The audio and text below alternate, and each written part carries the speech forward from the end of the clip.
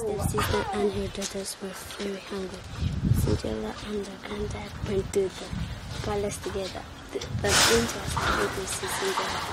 It was so sad. It's, as I've said, it was more than we could expect. We lost everything.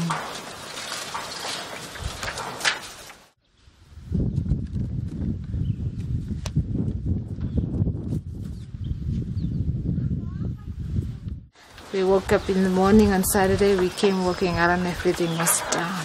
All our properties and everything got blown away. It was very frightening and very, very, very destructive. We tie electrical ropes on the, the rafter, the, the timber, and we hang on to the timber. When the, the gale force wind caught in, uh, we tried very hard to keep the, the roof hanging onto the, the old house. So uh, it's like the last thing we could we can do to save our family and even us. Thank you very much for the books you have given to us.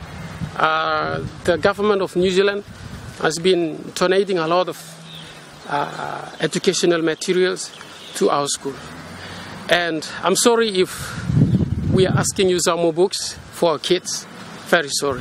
Uh, we are we are still uh, depending on aids, and uh, we hope that uh, we will be receiving some help from you uh, who are watching me right now on TV. I'm not sure, but uh, thank you very much if you are supporting us in one way or another to save our country and especially the, the, the children who are the future of will be the future of our country.